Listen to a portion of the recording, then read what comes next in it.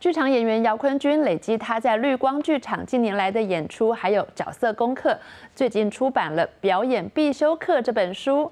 姚坤君笑着说：“他是一个不表演就会死的人。”但是个性耿直的他也说：“其实出书是为了学术升等。”但是因为这样，让他更用心记录表演的心得，然后跟他的学生们分享。学生在排练教室奔跑着热身，演员姚坤君在旁发号司令。在台大戏剧系任教的他，这一天带领着学生在即兴课上进行干扰练习。怀孕了！天哪！呃，这样。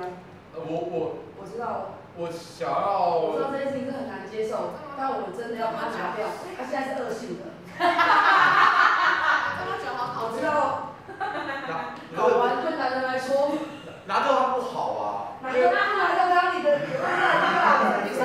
哥，那那对我很重要，那个对我很重要。我知道，我知道，这对男人来说都很重要。但是他现在是第四期了。所以我觉得我们应该好好的思考这件事情该怎么处理，对不对？有 A、B、C 三个角色，你可以自己设定。然后 B 这个人他同时存在两个时空，就是他跟 A 之间的，他跟 C 之间的两个时空，他要同时跟两个人对话。然后这个这个活动的特别地方就是你 B 必须要。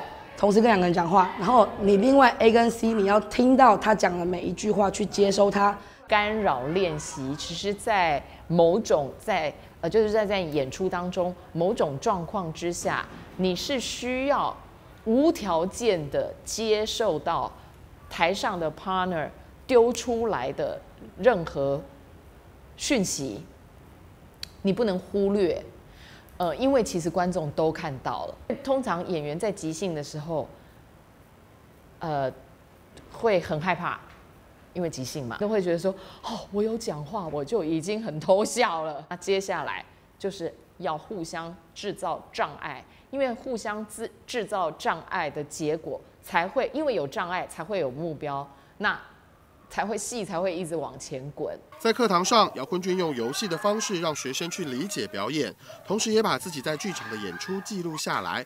他累积了在绿光剧团的演出作品，写成了表演必修课。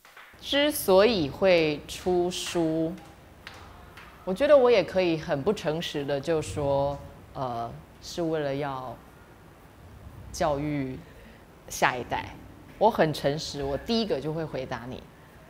当然是因为升等啊，但是我认为那个是一个美丽的错误，是一个甜蜜的负担。要不是没有为了要升等的话，我不会很认真的在从头回顾我自己到底做了什么事情，我到底对我的学生做了什么事情，然后所以我就整理记录。因为对我来讲，我不是一个善于书写的的人，所以其实，在书写这个过程当中，非常的痛苦，非常的辛苦，但是它是甜蜜的，因为演员诠释角色，或是演员在准备他自己的功课的这些过程记录下来，然后可以真正的分享给我的同学们。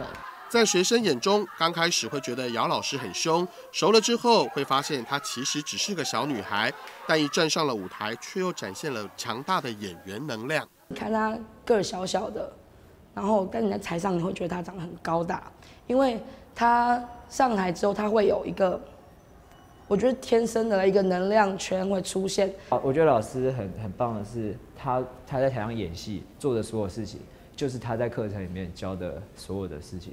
然后，那那就是看他表演，就是复习啊。表演是我的生活，他就不演会死啊。因为进了剧场，我发现，哇，剧场研究角色，然后在排练的过程当中，我在发现的不是角色而已，我发现的是我自己。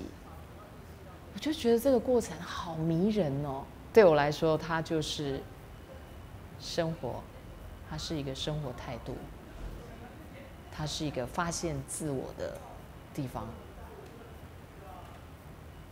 表演就是认识自己，发现自己。穿梭在演员、教师还有作者的角色之间，姚坤君提醒有志于剧场的人，永远不要忘记为什么站在台上的初衷。永远都不要忘记你为什么选择站在这个舞台上，到底是为了什么？当初是是什么让你决定义无反顾的当演员？嗯，然后永远不要忘记这件事。